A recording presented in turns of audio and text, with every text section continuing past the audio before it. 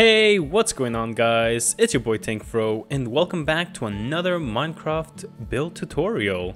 Today, on how it's made, I'll be showing you guys how to make a very nice and fancy dandy medieval apothecary. So, let's get right into it. Okay, as always, I have laid up all the blocks I will be needing for this build, and as you can see, it's not really all that much. Okay, so to begin, you want to build a 7 by 11 stone brick rectangle that is 4 blocks high.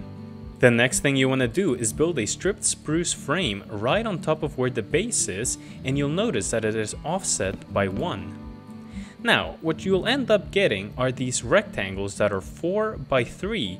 You'll get 2 on the front and back, and you'll get 3 on either side, like so. Now, to give it a little bit of extra detail, you want to get some of these spruce stairs and put them on the corners and where these pillars line up.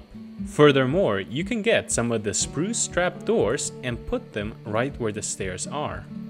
Next, let's focus on the roof you'll see that we'll want to make this very nice outline made out of the stone bricks, and take note that it actually starts below this top pillar, like so. What you'll end up having is this almost snaking pattern, using very few of the actual stone brick blocks and a lot more of the stairs. Finally, to give it a nice design, on the very top, use more of the stairs to give it this very nice ridge effect. And then what you want to do is get some of that dark prismarine blocks and stairs and follow the stone brick outline that we've already created. Now you'll notice that to give it a little bit of extra detail, I've used some of the regular prismarine blocks and stairs to give it some splotches here and there. There's one extra detail that you should take note of. The beam that used to be running here has been replaced with the dark prismarine on either side. Now that we've built the roof and the frame, it's time to fill in our building. Using bone blocks and some of the smooth diorite, you just want to fill in every single part that we've had missing.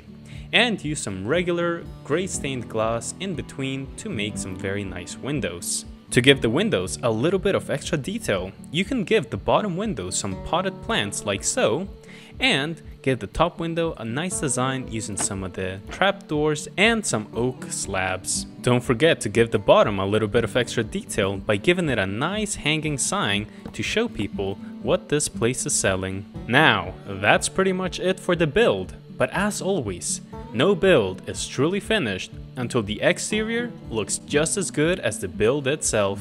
Thank you all very much for watching, and as always, keep on building.